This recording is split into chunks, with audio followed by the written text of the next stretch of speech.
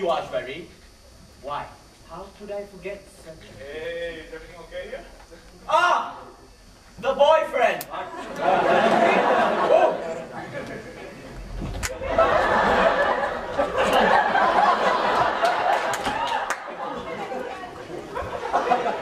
Grow up, Shah. Zach, where have you been all these years? Overseas. Zach, five years, Zach, five years. Your mother said, you know what? I hardly need to hear you whine about it. I had to study, I had to work, and despite all that, I have been sending her money. One can only wonder why she's still complaining. After all these years! Anyway, it's hardly easy to explain this to you, seeing that we've been slacking off. But Zach, what's wrong with you? What happened to that friend that we used to know back when we were 15? 15 years, that's right. I'm so naive. Shrewsbury, you're a beauty. You're so attractive, man. And you look even more beautiful when you've been so confused to see me standing right here, being so different. But you see something else too? I'm rich. I'm rich, powerful, I can get anything.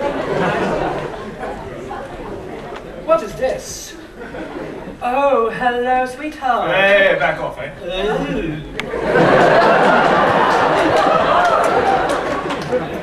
Zuck, you're really out of your mind, eh? Come on, Zuck. We have plenty of chicks waiting for us back in the hotel.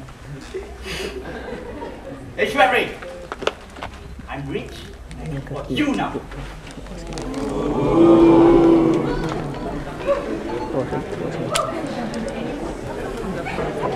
I can't believe that was that. No, it's crazy.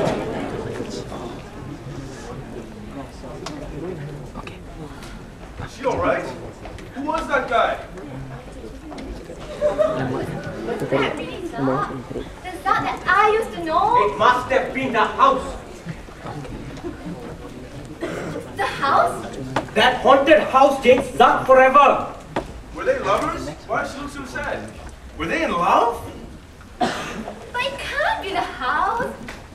Was it us? Did we change it? Oh no, is it my fault? Yes, yes, it is the house. It was the last time we hung out together, the three of us. And then he, he went off mysteriously and we hadn't heard from him ever since.